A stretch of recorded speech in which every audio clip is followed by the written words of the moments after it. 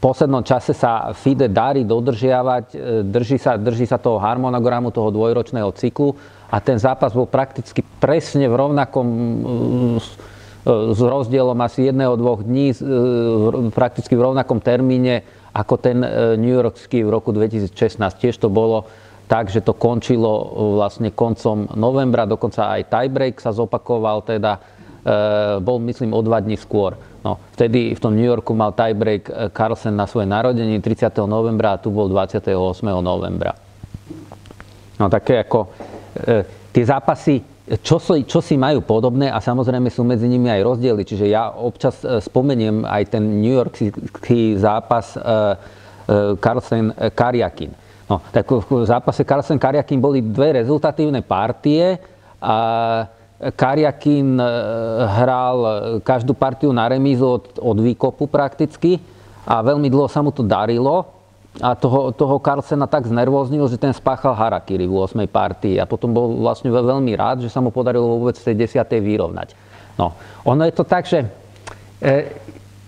Karuana nehral takto. Akože Karuana, Karuana bol podstatne šachovo vyrovnanejší. Oni sú, ako, však je to svetová jednička, dvojka, to sme už hovorili na niektoré z tých predchádzajúcich prednášok, medzi nimi ako čiste nominálne, medzi nimi rozdiel 3 body ratingu, to je absolútne zanedbateľné. E, hral sa vlastne aj zápas o post svetovej jedničky, dá sa povedať, no keďže skončil 6-6, tak e, ten, ten rozdiel tých troch bodov aj, aj, aj to poradie na tých prvých dvoch miestach ostáva zachované.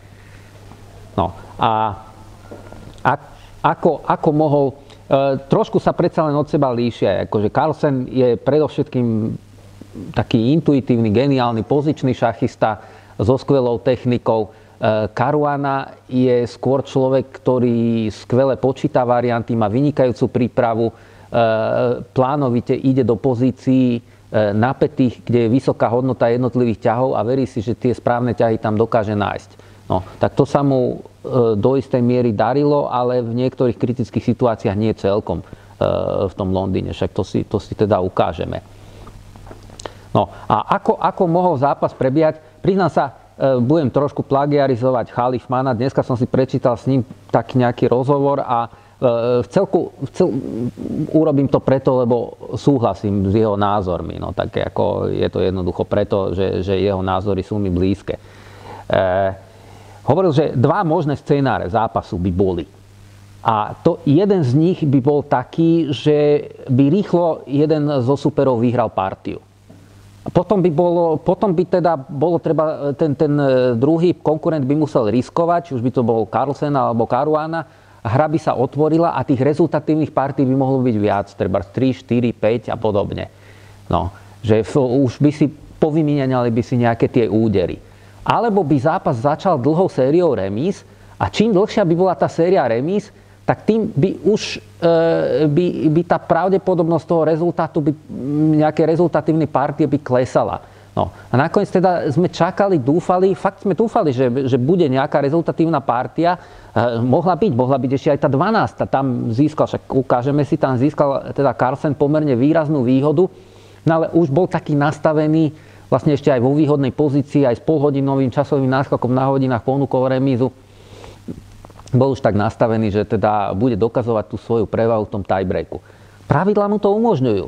No tak je, jeho e, záujmom predovšetkým Carlsena bolo obhájiť titul a či to spraví tak, že vyhrá 6,5, 5,5, alebo, alebo teda e, vyhrá, vyhrá v tom tiebreaku, tomu bolo v celku jedno. Je tam, je tam rozdiel 50 tisíc 50 e, eur vlastne, lebo ceny e, sa delili v pomere 6 ku 4, 6 e, ku 4 pre víťaza, ale pokiaľ sa hral tiebreak, e, tak e, 5,5 ku 4,5. No a celkový cenový fond bol milión teda. No, myslím, že milión eur teda, ak sa nemýlim.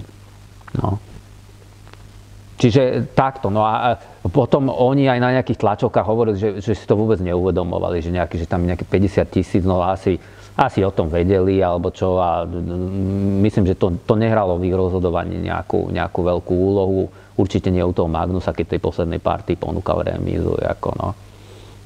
Jak pre ňoho e, proste účel svetil prostriedky. V podstate skoro to isté e, urobil aj v zápase pred dvoma rokmi, keď sa mu teda podarilo vyrovnať, po 11 partiách bol stav 5,5, 5,5, tak hral bielými. No a do, tak dosť demonstratívne bielými veľmi rýchlo tú partiu remizoval a, a v podstate naznačil, že, že mal jeden celý deň na prípravu navyše na, na tie tiebreaky, ktoré teda rozhodol nakoniec vo svoj prospech. A to isté sa stalo aj tu.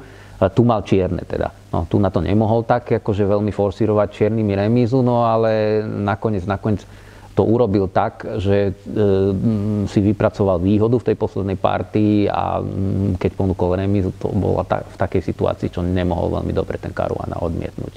No, to by bol, to by mohol ho to odmietnúť, to by lahol na nôž doslova. Nejako. No ale tak, poďme teda, e, e, vrátim sa ešte trošku k tomu Chalifmanovi. No a a, a druhý, ten, ten druhý možný scenár by bol ten, čo vlastne nastal e, v tom zápase, že teda s tou rastúcou sériou remíz sa znižuje ten počet partií, ktoré ostávajú do konca a vlastne tá ochota riskovať už aj postupne klesá.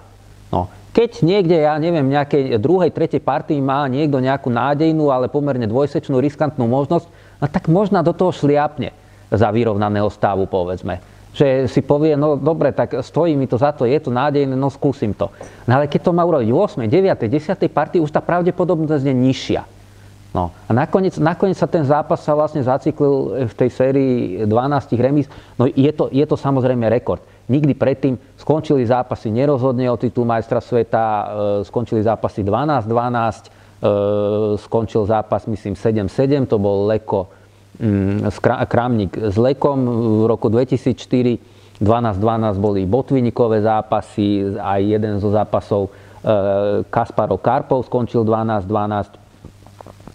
E, skončili zápasy aj s málo rezultatívnymi partiami. Pred tými dvoma rokmi boli len dve rezultatívne partie, proste 1-1 a 10 remíz. E, ešte v roku, myslím, 1910 hrali na 10 partí Lásker so Šlechterom, tiež bolo 1-1 a 8 remíz. A to teda Lásker ešte vyrovnával vlastne v poslednej partii, aby e, vôbec akože udržal titul majstra sveta. No čiže boli, boli takéto, ale, ale nikdy nebolo nikdy nebol e, zápas, ktorý skončil nerozhodne a že by nebola ani jediná rezultatívna partia. To naozaj je to tak, ja, jak v tom fotbale sú korením e, tie góly, no tak tie rezultatívne partie sú zase korením šachu.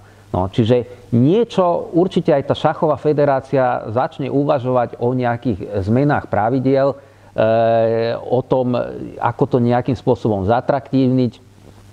Tak ako ja som to hovoril viackrát, ako môj názor je, že, že úplne, úplne stačí, e, keď sa vrátime trošku do minulosti, práve tie zápasy, čo sa, dlhšie zápasy, 12-partiový zápas je krátky, to som ja vždycky hovoril, ako zápasy, čo sa hrali na viac partí a kde mal ten majster sveta, kde neboli žiadne rapid ani bleskové tiebreaky, kde mal majster sveta teda to privilegium, že, že remiza mu stačila k udržaniu titulu, to donútilo vyzývateľa hrať aktívnejšie. No. A aj, aj riskovať viacej a tie rezultáty, tie rezultáty teda prišli. No, konec koncov aj v tých 12 partiových zápasoch, no bol ešte jeden zápas vlastne a to nebolo ani za účasti Carlsena, e, kde boli iba dve rezultatívne partie. To bol zápas v roku 2012, Anand Gelfand. Ten skončil tiež 6-6, tiež sa hral teda tiebreak, no a e, v tom tiebreaku Anand obhájil titul. No, zatiaľ, čo, čo sa hrali tiebreaky, tak myslím, že sa hrali, toto bolo, hádam, štvrtýkrát, 2006 hral tiebreak e, Topalov s Kramníkom, e, potom 2012 teda Anand s Gelfandom a, te, a teraz posledné dva zápasy hral, hral Carlsen najprv s Kariakinom a potom s Karuánom. E, vždycky ten tiebreak rozhodli už tie rapid partie. Tá séria tých štyroch rapid partí bola dostatočná na to, aby už určila majstra sveta a tentokrát dokonca to bolo jasné natoľko, že, že sa nehrali ani, ani všetky štyri, akože po troch partiách viedol Carlsen 3-0 a mm, ako už, už, už nebolo treba hrať ani tú štvrtú. No. no a toto, toto by mohlo byť možné riešenie. Ono ako proti tomu zase hovoria hlasy, že dneska nikto nebude e, dva mesiace alebo 6 týždňov alebo 2 mesiace sledovať nejaký zápas o majstra sveta. No tak ja neviem, no. Ono, zápas o majstra sveta síce vzbudzuje záujem médií aj všetko, ale pokiaľ naozaj, pokiaľ teda tými sponzormi zápasov majster sveta nebude nejaká ruská mafia, jak to bolo za posledné roky viac menej, pokiaľ to bude naozaj seriózny sponzor, tak privíta e, tu dlhší zápas, lebo dlhšie bude na scéne, dlhšie sa bude hovoriť, že toto je zápas, ja neviem, e, strelím, čo sponzoruje treba z, e, Microsoft a dva mesiace bude majstrovstva sveta sponzorované Microsoftom alebo ja, ja neviem, Googleom alebo čím, kýmkoľvek. Jako. A nie Agonom, teda akože spoločnosťou, čo sa chce so všetkými súdiť o prenosové práva a podobné veci. No, e, ten zápas, e, samozrejme, e, že či skončil 6-6, že či to je nejaké e, zákonité, alebo že či to zaslúženie ako skončil 6-6. Ja si myslím, že áno. No, obidvaja mali svoje šance, svoje príležitosti. Neboli tam, boli tam teda remízy také pokojnejšie, ale, ale boli tam samozrejme aj napínavé, zaujímavé partie, kde, a boli aj nevyužité šance. A obi, obidvaja mali tie svoje šance. E, takisto, keby, keby jeden z nich povedzme vyhral 6,5, 5,5, či by to bol Fabiano alebo Magnus, tak tiež by som povedal, že vlastne, že vlastne vyhral zaslúžene. Ako, čiže tak v rozpetí toho plus 1, minus 1 a, a toho 6-6 E, ten zápas, to vždycky, vždycky to tak vyzeralo, že skončí, no tak nakoniec, nakoniec tá alternatíva, čo sa zrodila, bola, bola teda tých 12 remis. Ja to vidím skôr ako náhodu, ale, ale je, to, je to, áno, je to smutné, lebo fakt chýbalo to korenie, teda chýbala, chýbala tá striekajúca krv, tie rezultatívne partie.